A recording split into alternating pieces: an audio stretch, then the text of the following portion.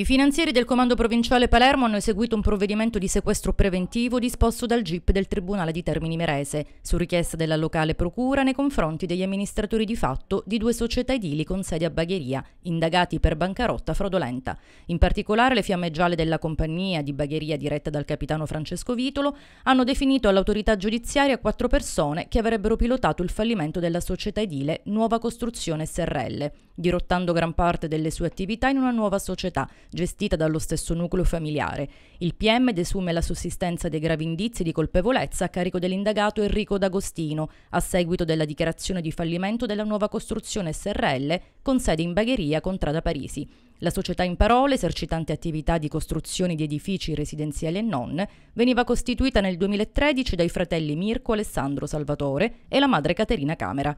La spregiudicata manovra avrebbe permesso, a parere degli inquirenti, di occultare gran parte del patrimonio aziendale per evitare che lo stesso potesse essere aggredito dai creditori, considerato che la società aveva accumulato un passivo di oltre 402.000 euro, la gran parte del quale nei confronti dell'erario. Le indagini avrebbero dimostrato come gli amministratori della società fallita, nonostante questa si trovasse in uno stato di decozione già dal 2015, dopo aver affidato fittiziamente le quote societarie ad un soggetto terzo, poi deceduto, abbiano occultato le scritture contabili e ceduto due locali destinati a magazzini a un'altra società, gestita direttamente dalla moglie del reale amministratore della fallita. Tale compravendita avveniva a un prezzo di circa 90.000 euro, quindi ben al di sotto del reale valore di mercato stimato tra i 170 e i 188.000 euro.